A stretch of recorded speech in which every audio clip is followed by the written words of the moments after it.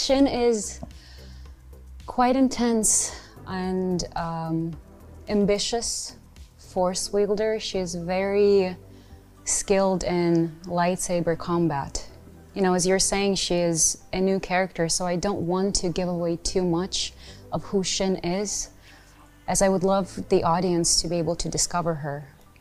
But she is Dave's creation, and I hope that despite her darkness of a character, we're able to also understand, expand our understanding of that darkness within someone and the reason behind it.